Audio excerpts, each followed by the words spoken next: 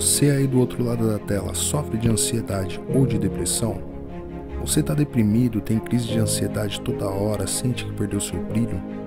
Eu tenho algo que vai te fazer voltar a ser quem você era, que vai te fazer reviver, vai te dar brilho novamente. Quer se livrar do mal do século? Acesse o link do livro na descrição. Se você perguntar incisivamente o que você acha da câmera, ele vai falar: Não, veja bem, a câmera é uma coisa que o Estado, o, o policial. Não, ele vai falar e não vai falar porra nenhuma. Eu já, eu já posso falar, ó, não serve pra nada, aquilo é uma bosta. Os, os coronéis que, os coronéis que colocaram estão envolvidos com, com, com, com máfia. Normalmente, qualquer coisinha que coloca na PM tem família de policial envolvido. O Coronel Camilo, que é o terceiro secretário de Segurança Pública de São Paulo, não existe, viu? Isso aí é uma. Não existe. É o governador, secretário de Segurança Pública, o comandante da PM. Esse maldito Dória criou três cargos. Ele colocou um general de secretário de Segurança Pública, o Camilo de secretário adjunto para PM e mais um adjunto para civil. Ele criou um cargo para o Coronel Camilo, porque o Coronel Camilo está sendo investigado por desvio de 207 milhões. Só isso. 200 milhões quando ele era coronel da PM. Para quem tá em dúvida achando que a gente tá perseguindo, digita no Google Lava Jato da PM. Caralho, 207 milhões, o cara ficou rico. Resolvia a sua vida um, um mês? é louco. Você ficava um mês na pampa? Você é louco. Um mês? A vida Eu fico até eu morrer, velho. 200 não, vai, 100 milhões pra você, vai. Nossa. é louco. Só 100zinho. 100 pra cada um aqui, ó. Então, aí, aí, um- aí um coronel envolvido nisso, o que, que acontece com ele?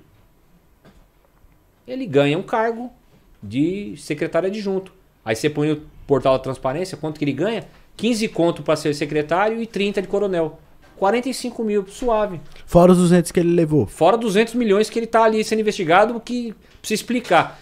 E na, isso é só um, um caso.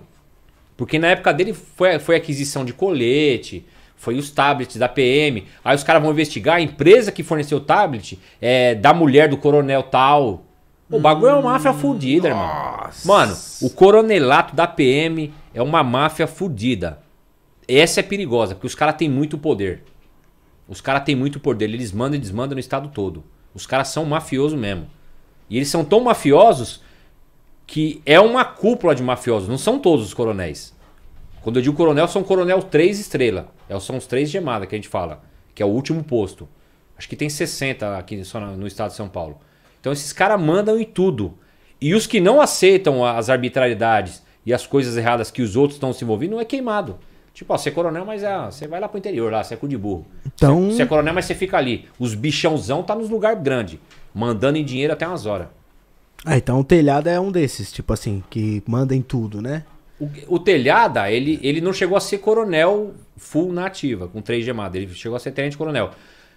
Só que o, o Telhada é deputado. Ele tem poder político, né? Ele é político. Ele é político. Então o negócio é, é mais acima ainda, porque ele tem contatos no Brasil todo. Ixi. Ele é famoso. Então, Ah, então esse- esses caras têm um alcance de um poder, poder de matar, poder de corromper, poder de fazer isso, aquilo, muito grande. Por isso que muita gente não tem coragem de fazer o que a gente tá fazendo. Mas é.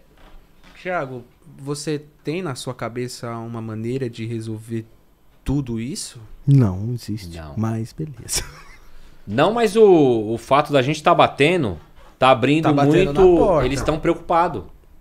Eles estão preocupados. Eu, eu queria dar uma dica pro povo que me segue aí. Aproveitar que a gente tá ao vivo. Eu, eu vou até fazer um vídeo disso e soltar no meu Instagram. Os caras estão tendo que parar de seguir a gente. Eu perco uma média de 20, 30 seguidores por dia. Maioria polícia, até meus amigos. Porque os oficiais estão cobrando eles. Não é pra seguir o Thiago, o militarismo da depressão e o Pracinha Cansado. E nisso tá surgindo um monte de, pra, de, de, de página combatendo eles. Surgiu o Militar Audaz, o Praça Sem Sequela, Bisonho, é, a Mãe Fala. Você entendeu? Tá, tá aparecendo um povo. Então dou dica pra vocês aí. Vocês que não podem ter Instagram por causa da PM, criam com o meu nome.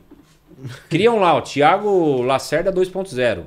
Aí já tem, cria o 3. Pode criar no meu nome e pôr minha foto, eu não ligo não. Porque aí eu quero ver se esses canalha têm coragem de pegar e bloquear os seus. Porque a hora que eles verem lá minha foto e meu nome, eles vão ficar meio cabreiro. Porque eles É. sabem que eu vou pra cima. É, agora a a polícia tá, tá difícil, né? O, o pessoal da polícia não pode nem postar foto mais fardado, segurando o fuzil. Não pode, irmão, não pode.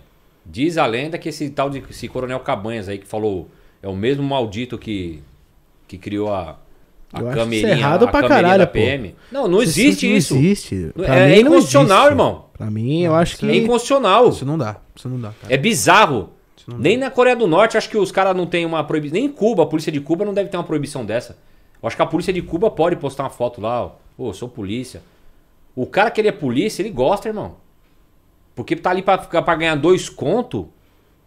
O cara tem Ele que tá gostar. porque ele ama, pra É. ser sincero. É a vida dele aquilo, cara. É, Aí ele não pode postar uma foto com o filho dele no quartel, nada. Pra ele poder postar, ele tem que mandar aquela foto pro Seconsok, que é uma é um maldito batalhão que eles criaram lá. E aí eles vão ver se eles aprovam, aí eles postam e você pode... Ah, se liga, irmão. se liga. Se liga. É, é muita loucura. Existe muita loucura na PM.